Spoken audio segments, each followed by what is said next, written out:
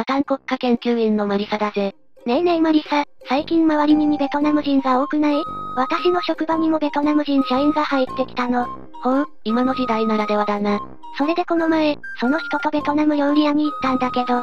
日本は資産形成ができる土台があるから恵まれてるんだよね。っていうのよ。マリサ、これってどういうことなの？ベトナムは社会主義国家だし、頻繁に出飲みが行われていたから、資産形成は難しいんだ。もしかして、その人ってベトナム南部のホーチミン市出身じゃないか？マリサ、なんでわかったの？ああ、やっぱりそうか。その子が、日本は資産形成ができる土台があるから良い国よね。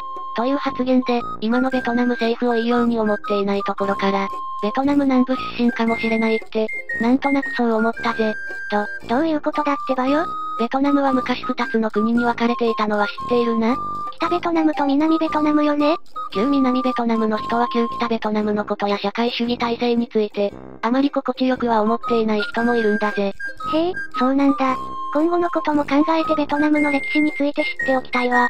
南ベトナムについて解説してくれない ?OK、今回はあまりにも動画の時間が長くなったので、前半と後半に分けるぜ。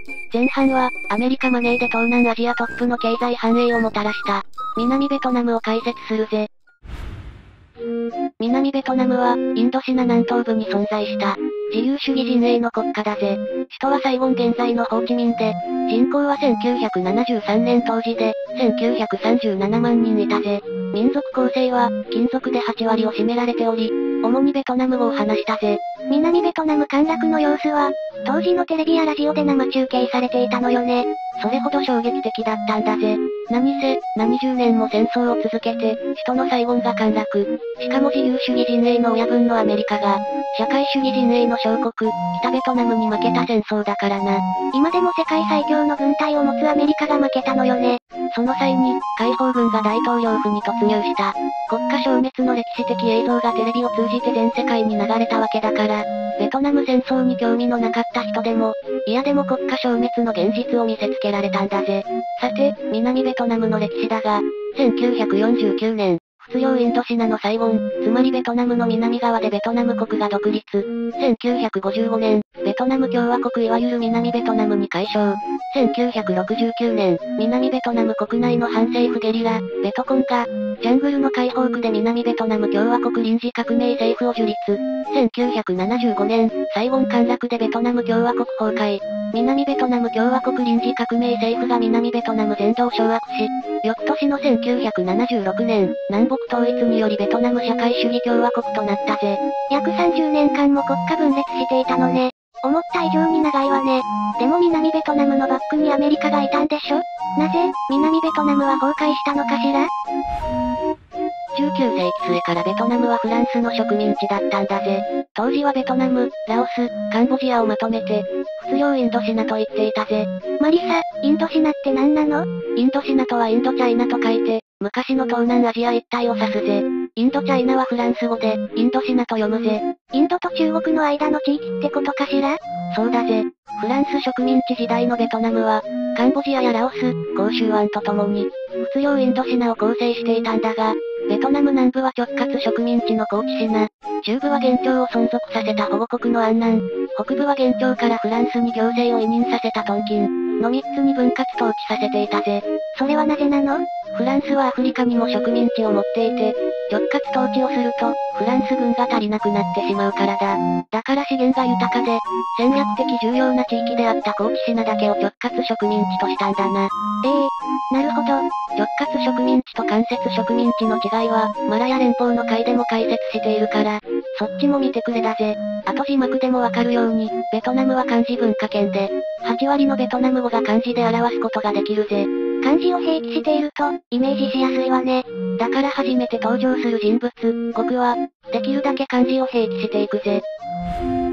第二次世界大戦で、日本軍が仏領インドシナを占領すると、グエン朝最後の皇帝だったバオ大帝が、日本の保護のもとに独立を宣言したぜ。フランス軍がいなくなったから独立のチャンスと思ったわけね。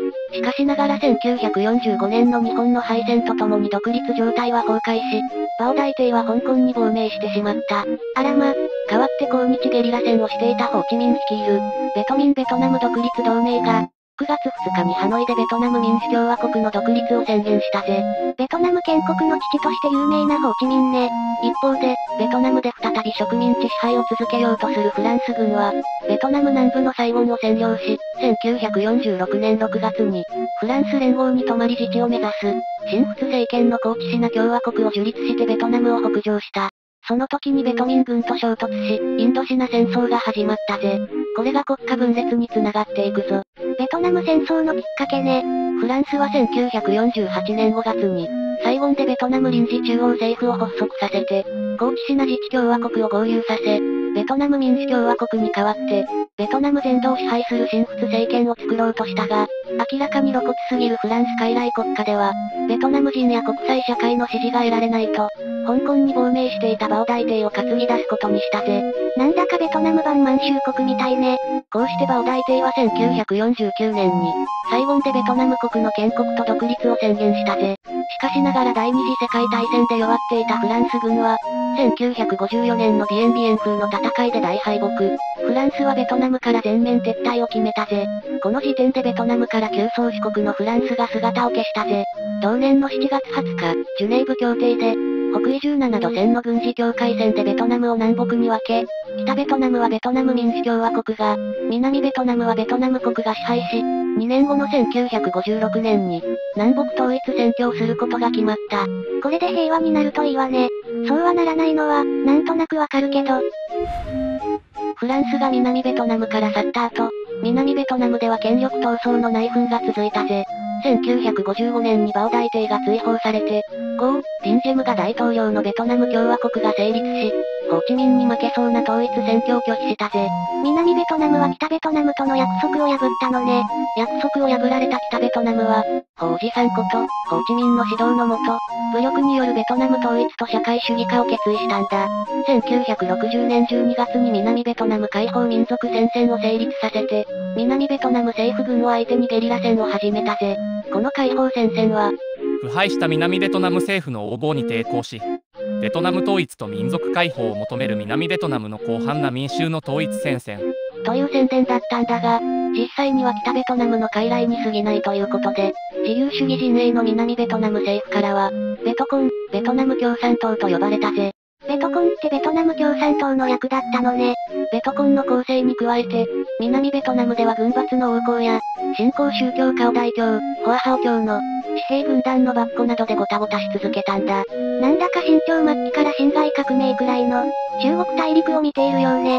政情不安になると、新興宗教や自警団がバッコしちゃうのね。南ベトナム国民は、ゴ大統領に対して、大統領は、自分の一族を養殖につけすぎだ。カトリック教徒を優遇しすぎて、仏教徒を迫害している。と南ベトナム国民から激しい非難を浴びた。ベトナムって仏教徒が多かったのね。それに、ゴ大統領に抗議する仏教僧侶の昇進自殺が相次いだぜ。ゴ大統領の弟の夫人であるマダム、ゴ・ディン・ヌは、南ベトナム政府に抗議して昇進自殺した僧侶に対し、あんなのは単なる人間バーベキューよ。反米運動にアメリカ製ガソリンを使うなんて矛盾してるわ。今度同じことをするならガソリンとマッチをプレゼントするわ。と発言し、発言そのままがテレビを通じて全世界のお茶の間に流れたぜ。ドン引きだわ。この発言で南ベトナム国内は荒れに荒れまくったぜ。このことは社会主義国であった北ベトナムやソ連、中国でも報道され、これが西側が掲げる自由だ。命を懸けた僧侶の抗議は、西側の休日イベントと同じ認識らしい。とプロパガンダに使われたぜ。これはこう言われてもしょうがないわ。マダム、ゴ、ディン、ヌーの発言は、米国やフランス、日本といった西側陣営からも大品縮を買ったぜ。そんなことを続けていたら、1963年11月に、南ベトナムでクーデターが起きて、ゴー大統領は殺害されてしまったぜ。まあ、されるでしょうね。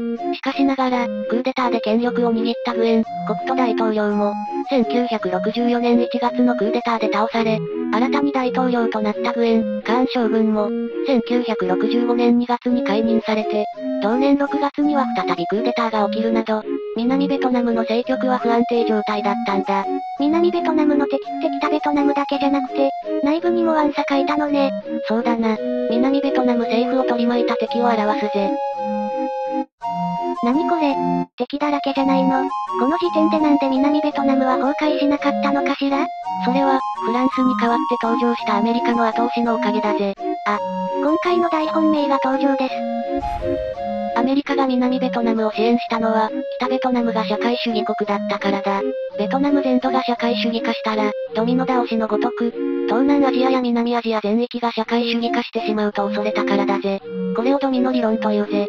ふむふむ、東南アジア、南アジアは、イギリス、オランダ、アメリカ、フランスといった、自由主義陣営の国が旧宗主国だったため、何としても植民地独立後の共産化を抑えたかったんだぜ。それはなぜなの？元植民地だから、どうでもいいんじゃないの？そうは問屋が下ろさないんだぜ。表現がおっさんね。すまんな。旧植民地が独立後に共産化してしまったら、旧宗主国の影響力がなくなってしまうからだ。影響力？植民地じゃなくなるのに？そうだぜ。21世紀の今の時代に、ロシアが旧ソ連構成国に干渉しまくっている感じかしらね。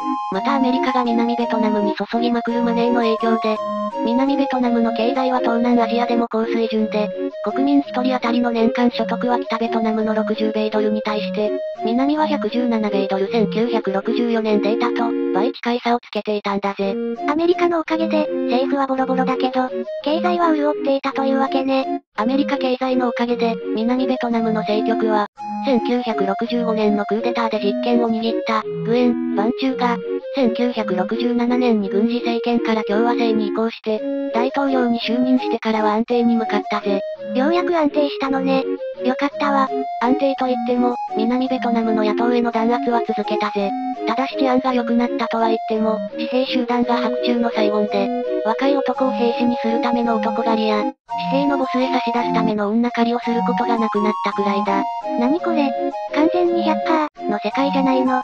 今の時代から考えるとそうだな。同時に米軍は解放戦線を支える北ベトナムを叩くために、ハノイ爆撃を繰り返して、本格的に北ベトナムへ介入していったぜ。なるほど。アメリカが介入したから経済的には豊かになってはいたのね。それから南ベトナムはどうなっていくのかしら。おっと、今回はここまでだぜ。続きは後編を見てくれだぜ。何よ、気になるわね。あ、高評価とチャンネル登録もよろしく。